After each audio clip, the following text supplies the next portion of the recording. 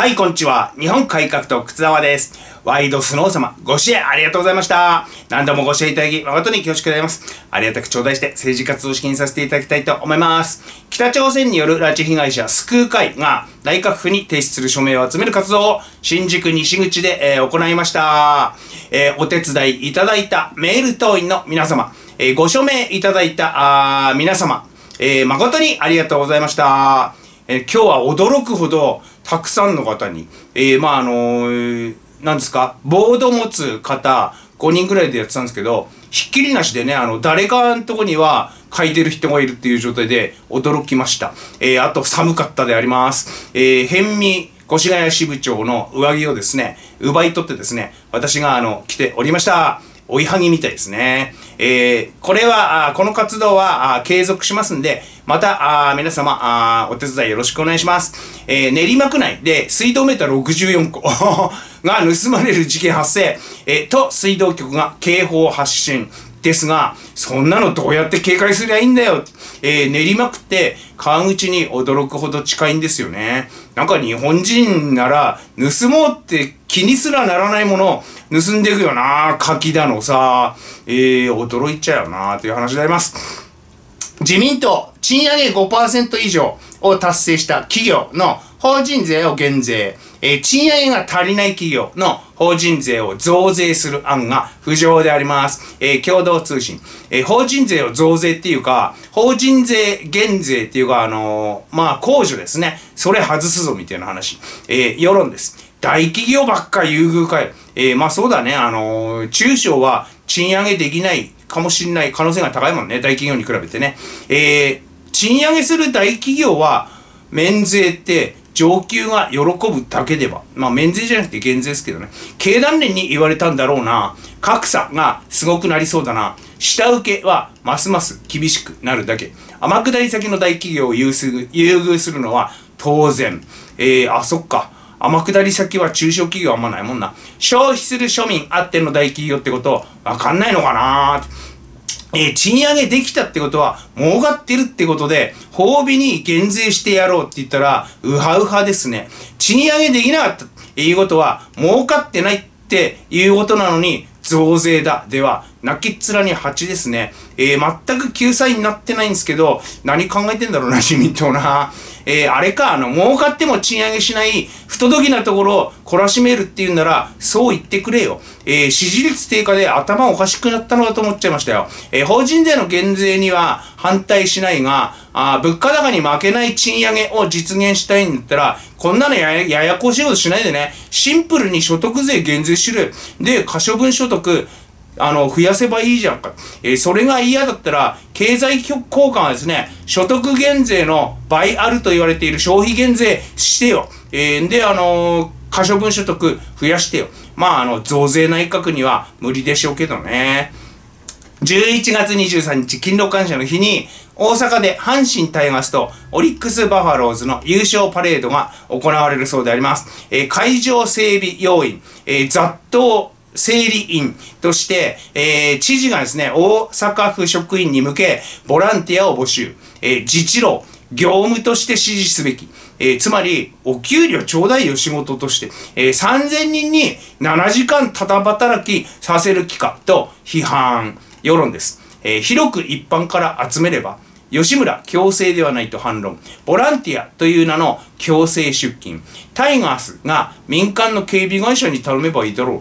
ボランティアだけど人事査定に影響。あるかもね。優勝パレードに税金かけるのはちょっと違う気がする。えー、ボランティアってことでやってると、業務中に、業務中にですね、事故があっても、労災にならないのでは？あそれともボランティア保険とかかけるの？えー、まあね、あの、酔っ払った通行人に殴られるであるとか、雑踏整理とか、えー、道路整理、交通整理？とかだったらそういう可能性ありますね。えー、民間団体であるタイガースの優勝パレードが自治体の仕事っていうのも違う気すんですけど、雑踏警備や誘導要員は府民の安全を守るってことで、休日出勤扱いにしてやったらいいんでは？生活苦しんだしさ、えー、って思います。今日の単身です。増税政権、ラオスに42億円の無償援助決定。外国には気前よくばらまく。非難合々。えー、岸田よ。人の金でいい格好すんのは楽しいか？立憲公約から消費税減税を外す。消費が改善傾向にあり、訴える状況にない。えー、9月の消費額はですね、前年度比マイナス2.8%じゃなかった衣服はマイナス22%じゃなかったえー、選挙協力する共産党は消費税廃止を訴えてるけど、そこはお付き合いしないのか。えー、財務省によっぽどの弱み握られてんですかね、立憲は。疑惑は深まった。えー、それとも、それ言い出すと、そもそもお前んところの野田政権が5%から10%にしたんだろうが。で、ブーメランだからやめたのか。立憲原口。嘘とデマと中傷をなりわいとするパヨ側に著しくマイナスに働くツイッターのコミュニティノートに激怒、えー、参考人招致を検討、検閲の禁止、言論の自由との関係で、えー、と吠えまして、それこそ言論弾圧ではとかですね、なんでそんなにツイッターに命かけてんの？と、不審がられる。不思議がられる。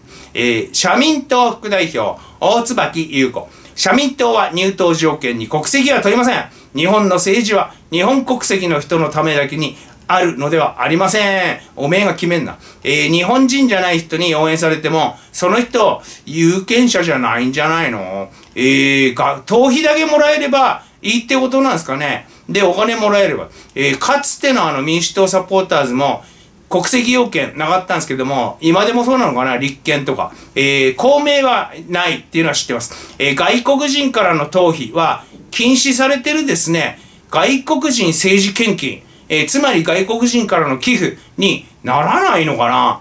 どっちもですね、応援ってしたいっていう気持ち、支持したいっていう気持ちのために出すお金で政党に入るんでしょ？えー、それともね、あの、議員はダメだけど、議員は外国人からもらっちゃダメだけど、政党はいいってことなのかな？わかんない。この辺。えー、教えて、偉い人。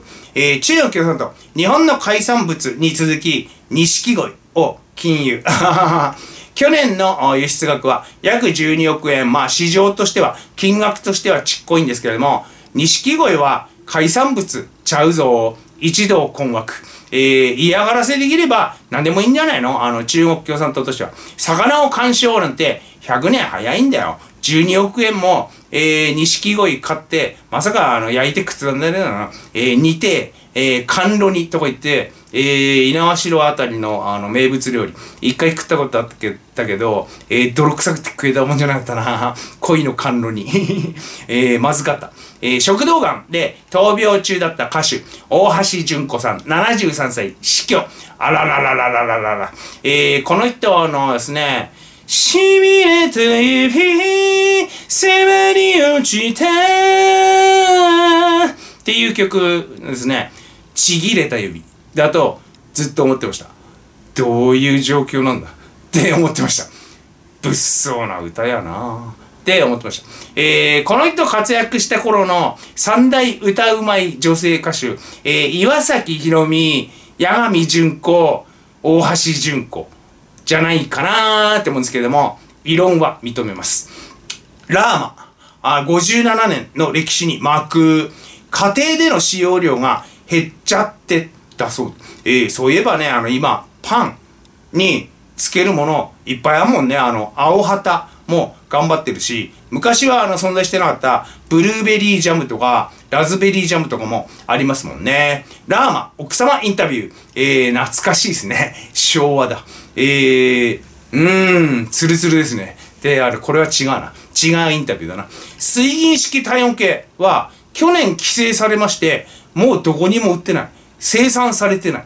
だって、やっぱあの割れて水銀流れ出して危ねえとか、そういう理由なんでしょうか。有料の水族館は世界に約400カ所あるが、そのうちなんと150カ所が日本にある。